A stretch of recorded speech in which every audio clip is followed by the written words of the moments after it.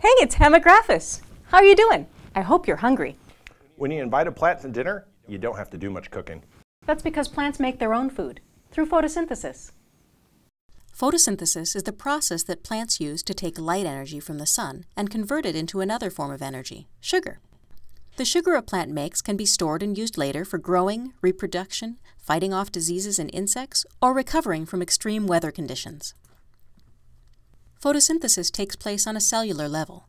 Within a cell, plants have specialized structures called chloroplasts, where photosynthesis takes place. Think of the chloroplast like the kitchen of the plant cell. This is where all the food gets made. Chloroplasts contain the green pigment chlorophyll, which absorbs light energy from the sun.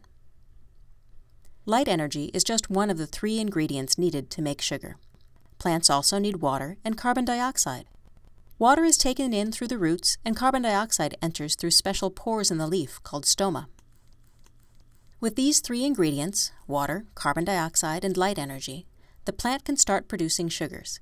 The actual process is very complex, but simply put, the plant uses parts of the water molecule and energy from the sun to link together carbon atoms contributed by the carbon dioxide molecule to make sugar.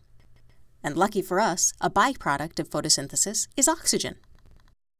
Even though plants can make their own food, they also need to eat.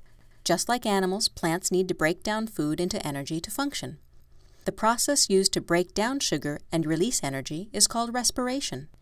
You can think of respiration as the opposite of photosynthesis. The process of respiration also takes place on a cellular level in a structure called the mitochondria. The next time you have a picnic in the park, just look around. All of those green plants are photosynthesizing and having lunch with you.